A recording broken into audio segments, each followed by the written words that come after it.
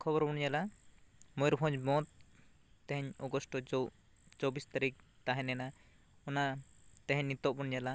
Karanjia sub division school college गिद्रा को चलो ओना झलक बन